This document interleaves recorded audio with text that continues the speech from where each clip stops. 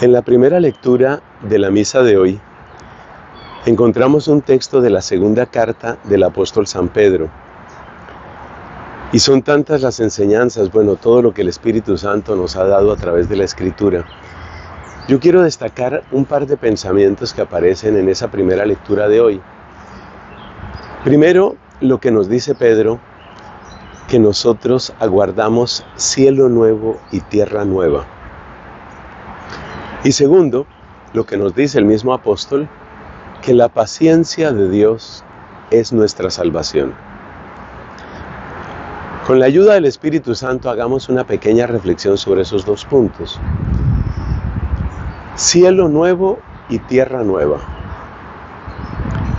Si nosotros estamos esperando una tierra nueva,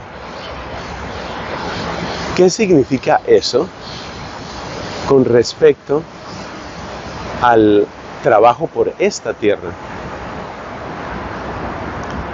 Hace poco me encontré en una red social un mensaje muy bonito, muy esperanzador de un sacerdote.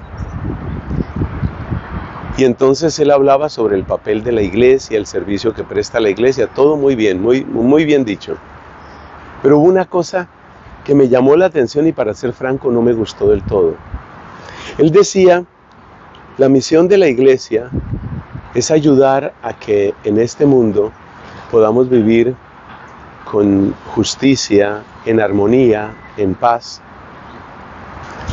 Y uno siente que eso es verdad, que por supuesto que nosotros como iglesia tenemos que ayudar a que haya justicia, armonía, paz.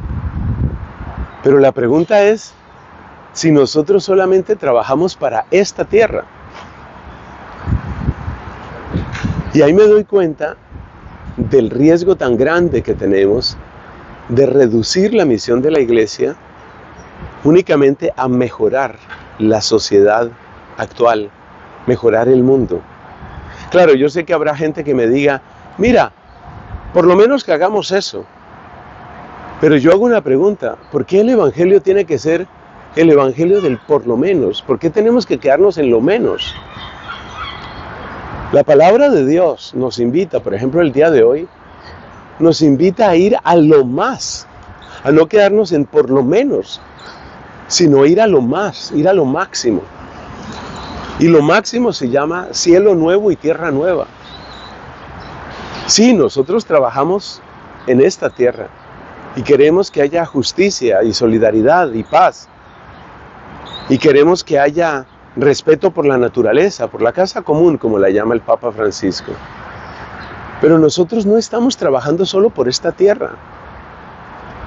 Y esa dimensión de eternidad, esa dimensión de cielo, y sobre todo de cielo nuevo y de tierra nueva, ¿cuánta falta nos hace recordarla hoy?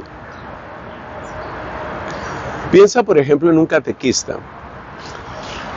El catequista, digamos que está favoreciendo la educación religiosa de unos niños. Y el catequista les enseña mandamientos, por ejemplo.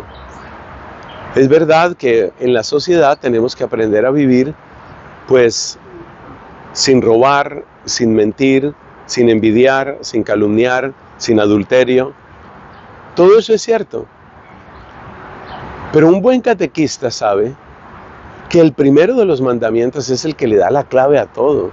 Y el primero de los mandamientos dice, amarás al Señor tu Dios con todo tu corazón, con toda tu alma, con todas tus fuerzas. Es decir, que la religión no equivale solamente a aprendamos a portarnos bien. No se trata solamente de hacer mejor este mundo. Trabajamos para que este mundo sea más justo, más solidario y más armónico o armonioso. Pero trabajamos también para que este mundo no nos sacie. Óyeme eso. Necesitamos educar a nuestra gente, a los hijos, a los alumnos, a los que están en la catequesis, para que trabajen para este mundo, pero también para que este mundo no los sacie. Para que sepamos que este mundo no es todo. Que el máximo logro no es tener mucho dinero, mucha salud, mucha belleza, muchos amigos y muchos ratos agradables. que nosotros tenemos algo más grande, porque nosotros vamos a lo más, a lo que es más grande. Además, ten presente algo bien importante, y es la segunda frase. La paciencia de Dios es nuestra salvación. Cuando leí esa frase me llamó la atención que dice, el apóstol dice, nuestra salvación. Por consiguiente, Él se incluye nuestra salvación. ¿Por qué destaco eso? Porque la paciencia de Dios no es entonces solamente para ellos, ellos, los pobres pecadores. Ten presente que Dios nos tiene paciencia también a nosotros. Nosotros que supuestamente hemos tenido un proceso de conversión, nosotros que supuestamente conocemos al Señor, con nosotros Dios tiene paciencia. ¿Y sabes por qué tiene paciencia? Porque es que nuestra conversión y nuestro proceso y nuestro camino no están terminados. Es decir, no presumamos que ya somos agradables a Dios y que ya está todo resuelto. No presumas eso. No te hagas esa idea.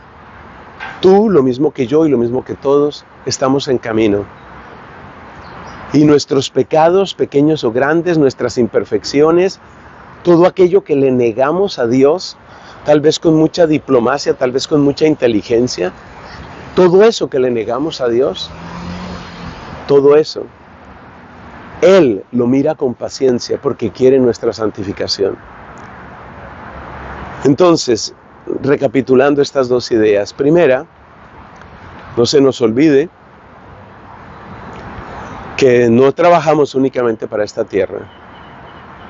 Y segundo, no se nos olvide que Dios está teniendo paciencia con todos y que probablemente con quienes tiene que tener más paciencia es con los que a veces nos creemos ya convertidos y nos creemos ya buenos. ¿Cuánto tensionamos la paciencia de Dios con nuestras arrogancias, con nuestras pretensiones? Que el Señor nos mire con misericordia y que desde la humildad y el amor podamos trabajar para su gloria, primero en esta tierra y después alabándole en el cielo nuevo y en la tierra nueva.